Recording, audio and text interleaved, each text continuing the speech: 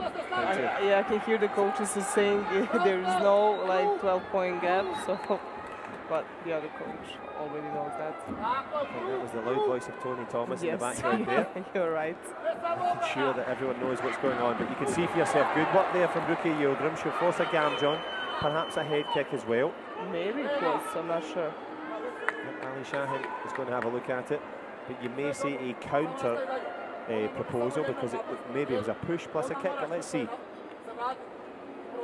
Looking for the three points, that would make it 10-4. Still 21 seconds to go. I said 21 seconds to go, so push. I, I'm not sure. I don't think so.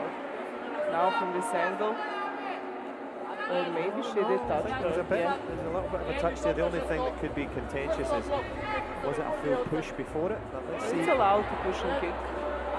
It's not allowed just to push her out of the court without a kick, so maybe this is three points for Ruki. We're just looking on the big screen above us here. A little bit of a touch, unsuccessful, not enough. Worth a throw of the card. However, is it on the cards for a Croatian Championship title here? Last 20. You can see that she's trying, but still not enough to score. Lena is doing great movement, so good enough. More than good enough. Rukiye Yildirim trying to the finish. She's lost her card.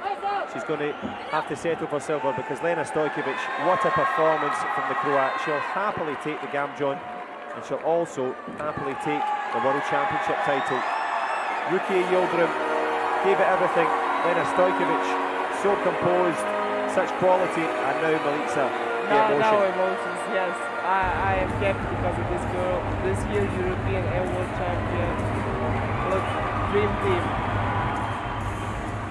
Well, dreams come true for Croatia.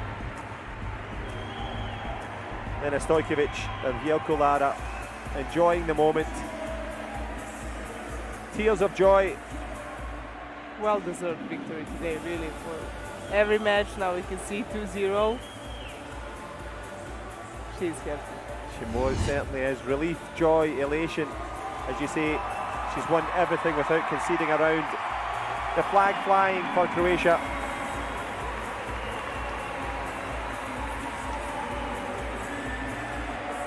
A strong Taekwondo nation, of course.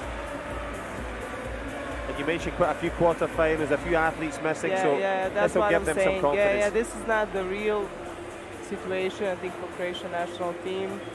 We missed Toni Kanaet. I think he was injured in the last Grand right, Prix in in the shin. Manchester.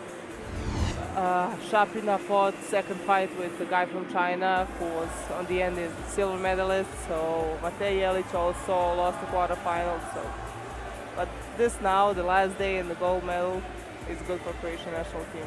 Certainly is. Good times for them. And great stuff for Lena Stojkovic, the world champion. So that's the women's under 46 completed. The men's 58s, a couple of really good semis.